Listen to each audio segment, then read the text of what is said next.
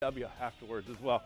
How about our first game of the tip-off? Bath and Shawnee, and it is all Shawnee on this night. The quarterback, Johnny Caprella, strikes first down low. Then Caprella hitting a tough shot in traffic. So strong is the quarterback.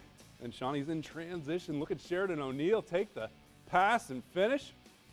More from the Indians rolling. How about Parker, wing three, with a guy in his face. Then, then it's Logan Maxwell. He's showing off the range. Same spot, same result. Shawnee a big lead.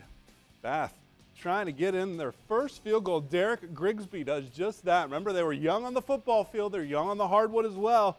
Justin Benke, though, lays it in. Look at this final score. Shawnee they're going to be someone to deal with this year. 88 to 38. This one will start at 10:30 on WOSN. It will follow the Elida game on WTLW, so you have two chances to watch that one tonight.